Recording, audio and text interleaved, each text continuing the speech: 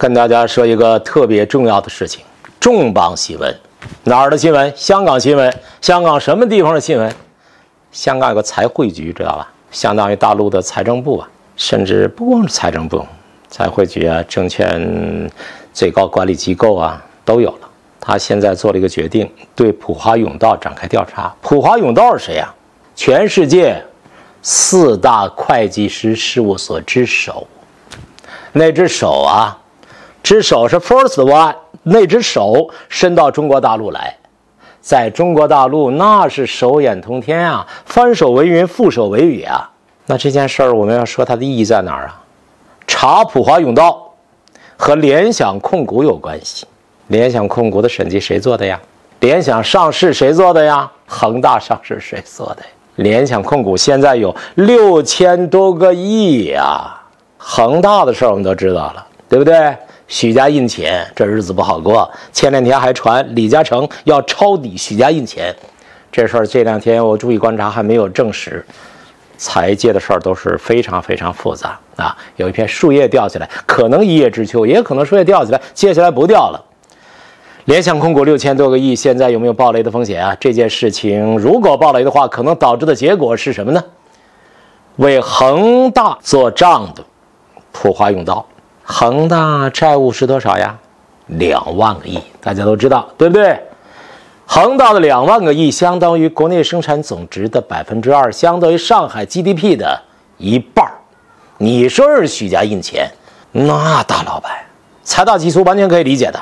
但是他那个财呢，都是欠的债，两万亿债务，暴雷之前，有人发现什么预警吗？没有给他们做账的普华永道给了个什么报告没有啊？您如果对财界的事儿略有一点了解，那一定知道有啊。许家印钱拍着胸脯，倍儿有底气。为什么呀？普华永道给我做账了，普华永道给我出报告了，普华永道毫无保留的审计报告说许家印钱 no problem，没事儿。牛，好，接着砸钱，接着借。我现在对许家印特别崇拜。有一句谚语说啊，钱重要不重要？你只有去借钱的时候才知道。你去借一万块钱试试，你去借十万块钱，提高一个难度数量级，你去借一百万来试试，你得想一下吧。狐朋狗友何其多也，能借给你一百万的有几人呢？许家印，天下都是朋友，能借出两万亿来，你说你有啥不服的吧？哎，许家印的本事从哪儿来？那是一个复杂的问题，有机会我们可以单讲。但是世界四大会计师事务所之首普华永道毫无保留的出具审计意见，这是不是一个比较重要的因素？相当于用普华永道的这样的人脉资源和权威性为恒大背书啊！八月十五号什么日子？鬼子投降纪念日啊！八月十五号还是什么日子？美国鬼子撤离纪念日。从哪儿撤？从阿富汗。反正那一天，香港财会局人家只管发财，人家不管那些事儿。财会局正式对普华永道展开调查，为什么呀？因为你影响香港金融安全呀。所以在这儿，我就想问一个最简单的问题：财务的问题咱们也不太懂啊，金融的问题咱也不敢说呀。这件事儿姿势体大，你不敢乱讲啊。我就说点别的，我就说个二零零九年某企业改制、国有资产流失问题。好家伙！这两天知道吧？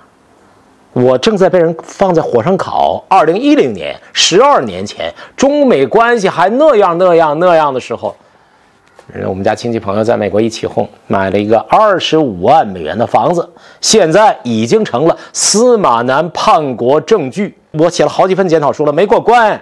审司马南审的这么严，审恒大为什么不认真一些？如果认真一些，恒大会爆雷吗？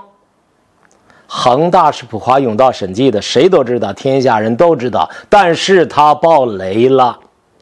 上海电气是普华永道审计的，他也爆雷了。大名鼎鼎的联想控股、泰山北斗教父啊，好家伙，领导的企业也是普华永道审计的六千多亿债务啊，联想的事儿因为没完嘛，还在进行当中嘛，所以现在就画一个问号，画一个问号。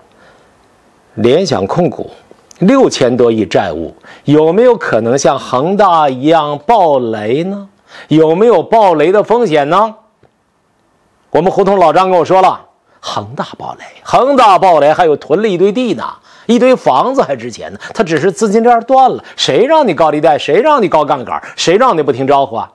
谁让你没完没了的砸钱折腾？今天球队，明天怎么着的？也就是说，许家印再不济，一堆房子一堆地，联想你拿啥去怼呀？如果爆雷，请问，联想年收入那么高的高管们，请问你如何自持啊？这事儿啊，大家都得注意，但是老百姓注意管什么呀？关键是谁？关键是中国那些各大银行得关注，各大银行每天都在。都在人家帅帅的小伙子哇走过去之后啊，都一飘一飘的公关姑娘的围围攻之下，干嘛贷款？为什么要这么急着贷款？不贷款你就砸脖。那银行得想啊，我贷款这钱呢？你现在就六千个亿，你现在就玩 P to P，你现在就六张小贷牌照啊，拆东墙补西墙，嘎金子换银子，高科技企业那是个幌子。各大银行严重关注啊。不给钱，公关来势汹汹啊！给钱，给钱，明天呢？恒大暴雷，联想也是普华永道审计，结果会怎么样？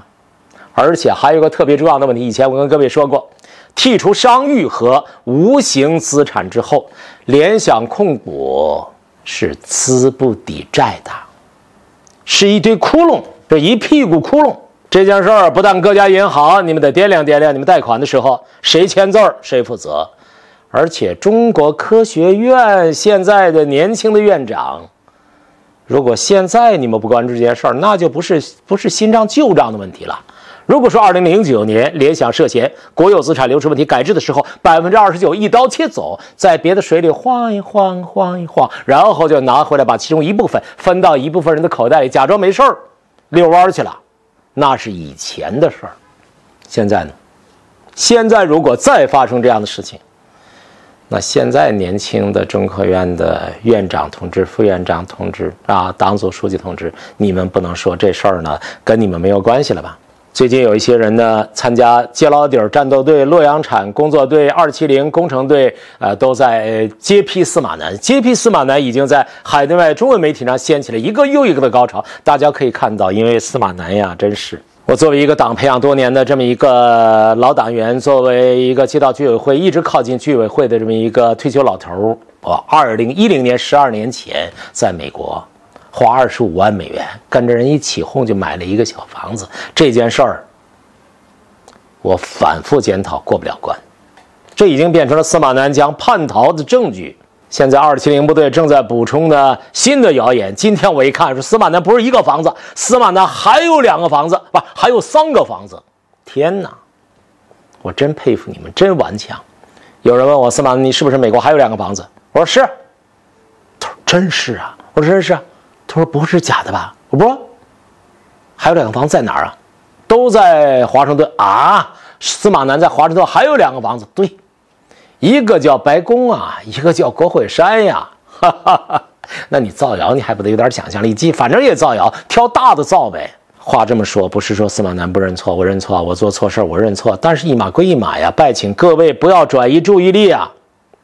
普华永道在中国改革开放的某一个阶段里边，突然间被看好，说中国的审计部门不可靠，普华永道为代表的可靠。普华永道之前有个叫什么呀？叫安达信，知道吧？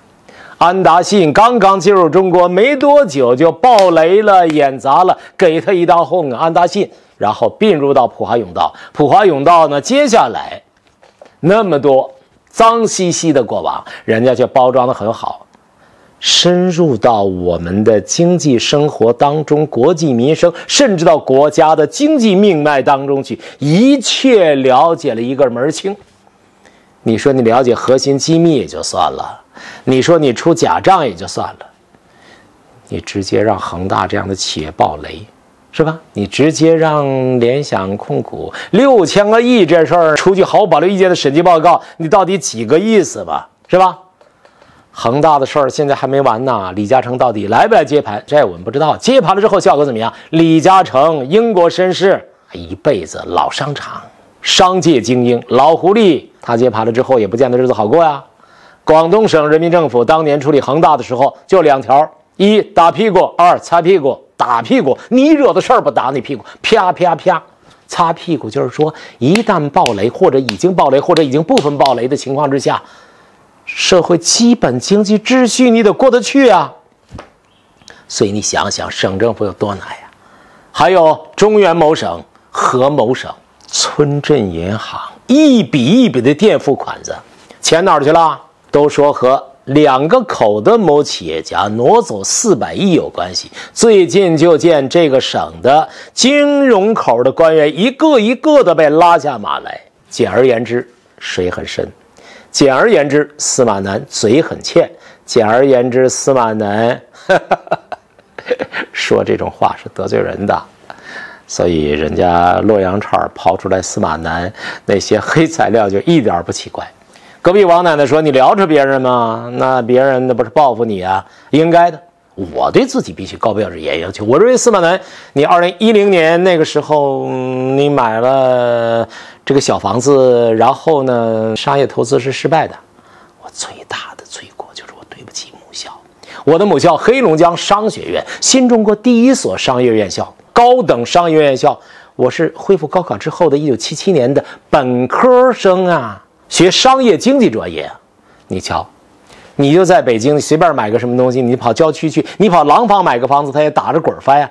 你去美国买个房子，商业投资失败，因此我自己必须长嘴，我自己必须深刻认错。但是我的错误再严重，就是司马南确实是因为这件事情就证明了司马南叛逃美国。那普华永道的事儿也不能轻易就过去，因为司马南这件事儿啊。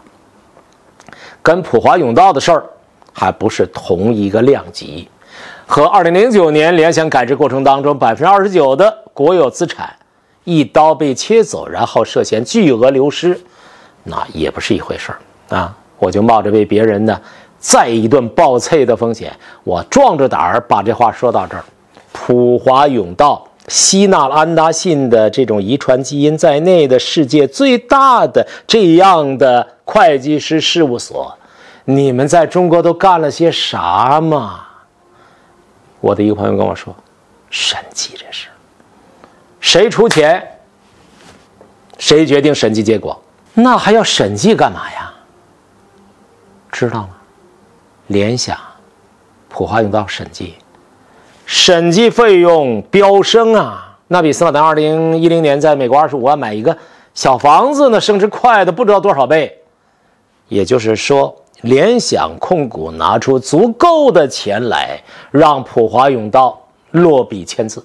联想的事情没完，普华永道的事情没完。普华永道这样的外国的审计机构到中国社会来，深入骨髓，对中国所有的经济架构有水银泻地一般的渗透。这件事情更没完。按照市场原教旨主义原则，按照呢孔美、崇美、媚美的这样的风尚，前些年如此。今天是不是必定还如此啊？秋天开大会，精神和这件事儿之间是一种什么关联呀？现在需要大家动脑筋，好好想一想的时候了。简而言之，普华永道现在被盯上了。普华永道此前你们的黑豆太多了，司马南要检讨，普华永道也要检讨，联想控股也要检讨。感谢收看，再见。